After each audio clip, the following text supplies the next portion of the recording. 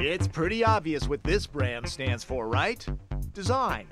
This is the new 2011 S60, and like all Volvos for the past 10 years, it has a very svelte and desirable shape. It's as good looking as it is safe. You know, that other thing they're known for. Volvo has certainly proved that safety sells. Just about every single manufacturer has jumped on that bandwagon, leaving this brand with an interesting dilemma. What do they do to stand out now?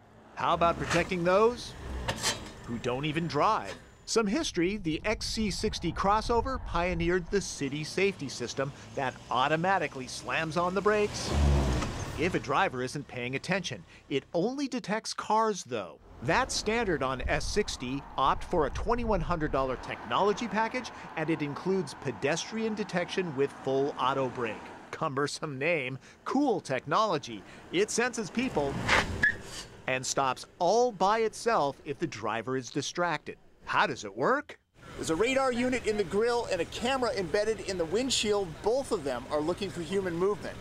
Sophisticated software then determines whether people are in danger. It detects bipeds 32 inches and taller, but not bicyclists or animals. It can completely avoid impact when traveling below 22 miles per hour and significantly reduces injuries at speeds under 50. Imagine a situation where you're driving maybe in a new city. It's very easy to become distracted, and that's when this technology is there to assist you. Then the car will actually brake itself. You didn't touch the brake? No. Nothing? No. Your foot was on the accelerator? Yeah. At launch, the S will be available with this 3-liter turbo inline 6, making 300 horsepower. It's mated to a 6-speed automatic with manual shift mode. 0 to 60 runs happen in just under 6 seconds, pretty darn quick. Fuel economy is EPA rated at 18 city, 26 highway. S60 is much more athletic than the outgoing model, though it still doesn't quite equal the gold standard BMW's 3 Series. Inside, the gauges are all slightly oriented towards the driver for a cockpit feel. High quality materials have a soft touch. The signature slim center stack is here too.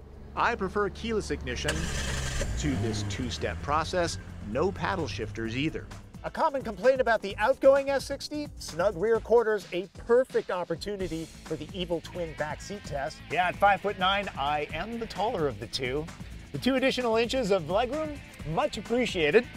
Starting at $37,700, it's priced aggressively against Audi A4, BMW 3 Series, and Infiniti G. Even if buyers simply treat Volvo as the safe choice, that's not a bad thing. But this Swede is now handsome and athletic enough to stop people in their tracks.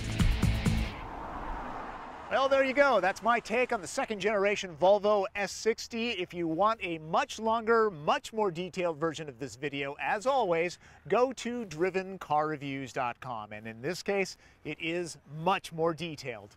I'm Tom Voelk.